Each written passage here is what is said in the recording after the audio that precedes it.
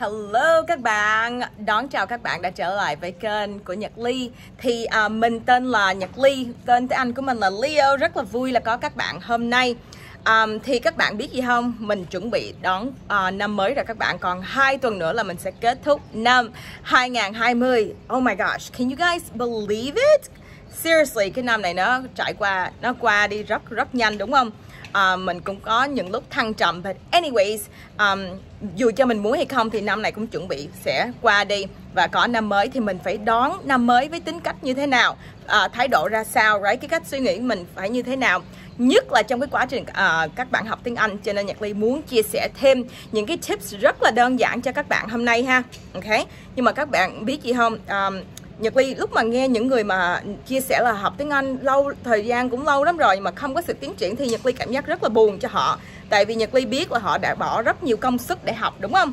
So năm mới này ok chẳng nhận, à, nhân dịp gần năm mới thì Nhật Ly muốn chia sẻ những cái tips này các bạn sẽ bắt đầu ứng dụng được liền ok để cho chuẩn bị uh, qua năm mới. Uh, và có một cái năm hoàn mỹ hơn nó hoàn mỹ but like you know hiệu quả hơn nè trên cái bước đường học tiếng Anh của mình. Ok, so are you ready? Các bạn đã sẵn sàng chưa? Ok.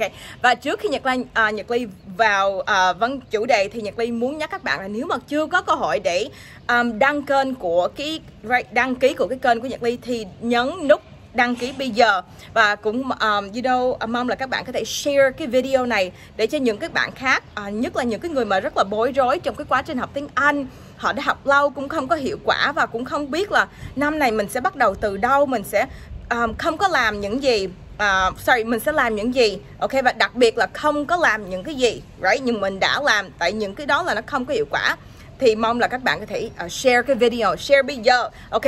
Uh, để cho uh, những người khác cũng có thể um, tận dụng cái video này. Alright so anyways bây giờ mình bắt đầu ok?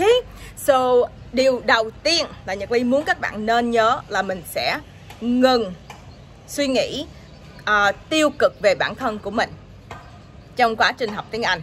Ok that's the first thing. Let's stop thinking negatively about yourself. Ngừng nói là mình I mean, nghĩ là mình học không có giỏi mình không có thông minh à, mình trí nhớ trí nhớ mình không có tốt right? Mình sẽ mình khó nhớ những cái từ đó. Rất là nhiều những cái um, những cái à, cái gì mà tiêu cực các bạn đang nghĩ về bản thân. Ok nhật ly muốn các bạn bỏ thời gian có thể là you know nội trong tuần này đi. Tại mình muốn bắt đầu là năm năm kế nhất là cái tuần cuối cùng right? Là mình chuẩn bị tinh thần đủ thứ để mình bước qua một năm mới.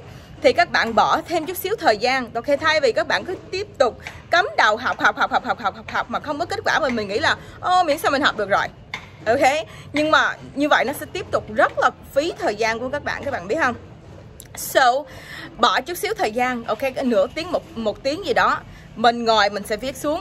Từ đó tới giờ mình học tiếng anh. Thật ra nhiều lúc mình suy nghĩ như thế nào về bản thân của mình? Nhật ly muốn các bạn viết ra ok? So mình sẽ chia cái tờ giấy bằng hai bên ha. Cái bên mà các bạn hồi đó tới giờ suy nghĩ về bản thân của mình á như thế nào? Trong quá, quá trình học tiếng Anh. Ok bên kia thì mình muốn suy nghĩ như thế nào về bản thân của mình? Ok so Nhật Ly muốn các bạn um, viết ra actually you know what? Đừng làm vậy. Nhật Ly muốn các bạn dùng một tờ giấy thôi và viết ra những cái thứ tiêu cực trước. Ok? Xong rồi thì các bạn sẽ lấy cái tờ giấy đó và các bạn sẽ xé tan ban nát ra cho Nhật Ly. Ok? Rồi sau đó mình sẽ dùng cho thùng rác. Hoặc là các bạn có thể xé ra và các bạn sẽ dội xuống cái cầu. Ok? Hoặc là các bạn cũng có thể đốt cái tờ giấy đó. Tại sao? Tại Nhật Ly muốn thể hiện cho các bạn là qua cái hành động đó thì các bạn sẽ lấy những cái tư tưởng mà tiêu cực đó của mình và mình sẽ um, you know rút đi right? Mình sẽ bỏ đi mình sẽ dục vô một chỗ khác và mình sẽ dục và mình sẽ làm cho nó biến mất. Ok trên thế gian này là Nhật Ly không có muốn các bạn bước vô năm mới với cái thái độ và nhất là những cái cách các bạn suy nghĩ tiêu cực về mình nữa. Ok mình phải luôn nghĩ là mình số 1 right? You can do it là mình làm được lúc mà Nhật Ly nói là mình số 1 like I'm number one right? Like I can do it you know? I got this. Bên Mỹ họ sẽ nói rất rất nhiều. I got this okay? Không có điển hình là you know, không có nghĩa là Nhật Ly rất kiêu ngạo hay gì hết. Nhật Ly không có phải nói bằng cái thái độ như vậy ok nhưng mà mình luôn luôn nghĩ là we I am the best. Tại vì nếu mà mình luôn nghĩ như vậy thì mình sẽ tiếp tục bươn tới và mình sẽ có động lực nhiều hơn. Mình sẽ có lửa nhiều hơn để mình tiếp tục học ok so cái điều thứ nhất là mình chỉnh cái cách suy nghĩ của mình nha các bạn. Ok? Điều thứ hai right là cái cảm giác và hoặc là cái cảm xúc của mình luôn luôn hay có lúc mình nói về học tiếng Anh. Ok? Chờ nhận ly chút xíu nha. Yeah lúc mình nói về học tiếng Anh um, là thường thường các bạn sẽ cảm giác như thế nào? Oh, chán quá. You know yeah, rất là không muốn học you know.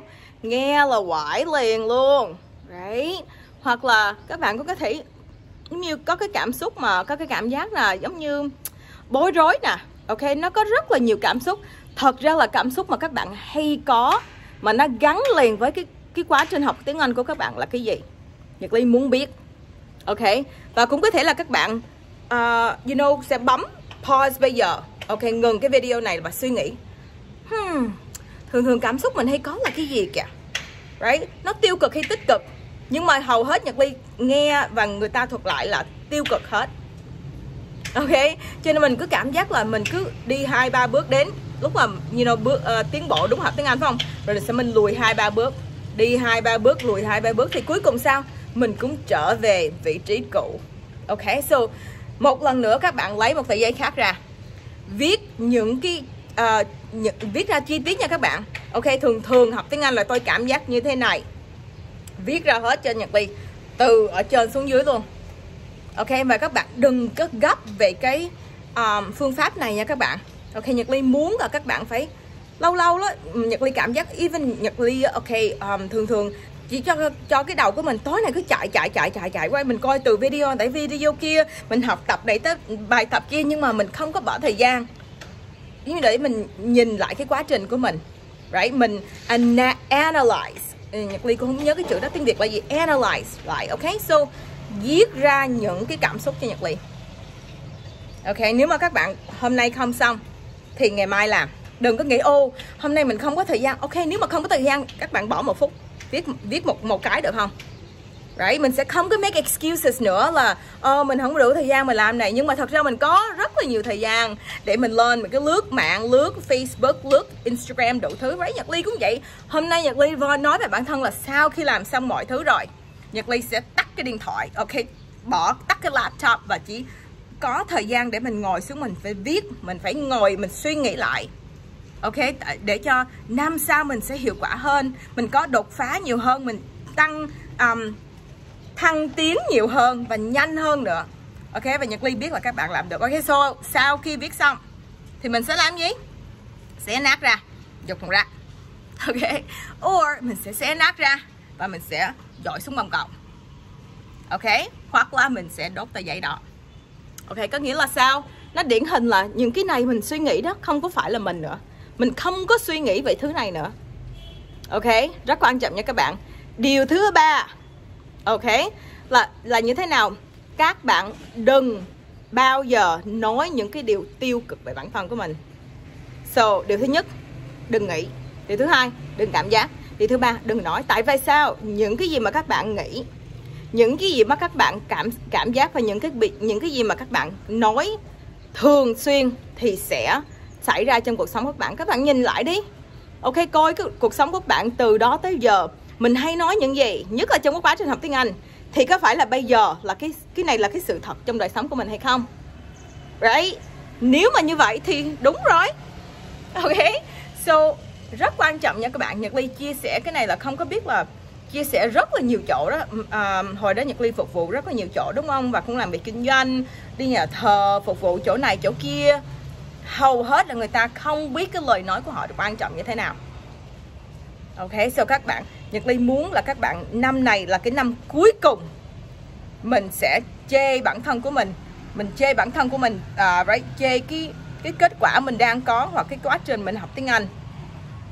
Um, mình sẽ không có nói những lời đó nữa right? Rồi lần nữa mời các bạn lấy ra một cái tờ giấy viết ra những cái lời gì mà mình hay nói về bản thân của mình nè.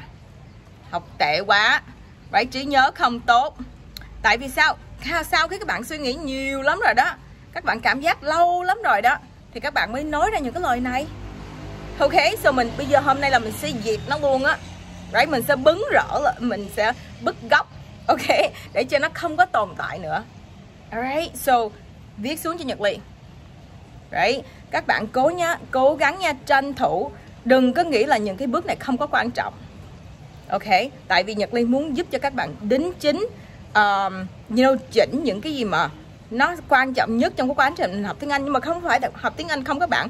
Mọi thứ khác nữa. Ok so lấy tờ giấy ra việc xong thì um, you know, xé bỏ hoặc là dội xuống bồn cầu hoặc là đốt cho Nhật Ly ok để cho các bạn các bạn có có cơ hội để bắt đầu một cái uh, quá trình mới học tiếng Anh. Ok and so I know that this is going to be the game changer for you.